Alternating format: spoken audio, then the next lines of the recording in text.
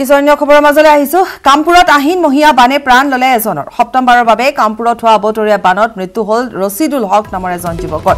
কচুৱা গেৰজাই পামত বাঢ়নি পানীত পৰা এজন যুৱকক বচাবলৈ গৈ কৰুণ মৃত্যু সাৱটি ললে ৰচিদুল হকে। পানীত পৰা যুৱকজনক বচাবলৈ সক্ষম হয় যদিও পানীত উটি যায় ৰচিদুল হক। পিছত স্থানীয় ৰাইজে উদ্ধাৰ কৰে ৰচিদুল হকৰ মৃতদেহ। আৰু এক শোকাবহ ঘটনা সংঘটিত হৈছে। কাৰণ কামপুৰত আহিনমহীয়া বান। আৰু আমি কালিৰ দিনটোত দেখুৱাই গৈছিলোঁ যে বানে তেনেধৰণে এক তীব্ৰ ৰূপ ধাৰণ কৰিছে। সপ্তমবাৰৰ বাবে কামপুৰত পানী হৈছে। আবতৰীয়া বানত ৰচিদুল হক নামৰ এজন যুৱকৰ মৃত্যু হৈছে। এফালে নেৰানেপেৰা বৰষুণ আৰু কাৰ্বি লাংপি জলবিদ্যুৎ প্ৰকল্প এফালে পানী এৰি দিয়াৰ ফলত বৰপানী নৈ পানী উফন্দি উঠিছিল। বৰপানী নৈৰ পানীয়ে প্লাৱিত কৰিছিল। কামপুৰ ৰাজহ চক্ৰৰ পঞ্চাছৰো অধিক গাঁও।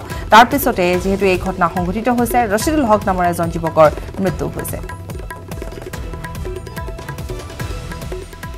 মই মানুহটো পানীত পৰিলে মানে পানীত পৰাৰ পিছত আমি নাওলৈ আহিছোঁ। নাওলৈ আহি পেলাই মানে বহুতে বিচাৰি আছে আমিও বিচাৰিছোঁ। তাৰপিছত আমাৰ লগৰ ককাই ডাঙৰ ককাই সি মানে পালে। পাই পেলাই সি মানে ওলালে বৰিত ধৰিলে আমি নাৱত উঠাইছোঁ। এইটো মই জানো আৰু। কি নাম তেওঁ ৰচিদুল হক। কাৰোবাক বচাবলৈ গৈছিল নেকি? সেই মানে বেলেগক বচাব গৈছিলে। সেইটো এতিয়া ভাল হৈ গ'ল। এতিয়া সি নিজে ঢুকালে। যি দুজনক বচাব গৈছিল তেওঁলোকৰ নামটো জানে নেকি? সেইটো নাম নাজানো নহয়। ৰকিবুল ৰকিবুল ৰকিবুল ইছলাম। আৰু? সিহঁতে সিহঁত দুটাই আছিলে। সেই দুটাই মানে মানে পানীত নামিছিলে নামি পেলাই সি মানে পৰি গ'ল বেছি পানীত। সি মানে কয় বচা বচা মোক বচা। তাৰপিছত সি দৌৰি পেলাই জাপ মাৰিলে দৌৰিবলৈ। তাৰপিছত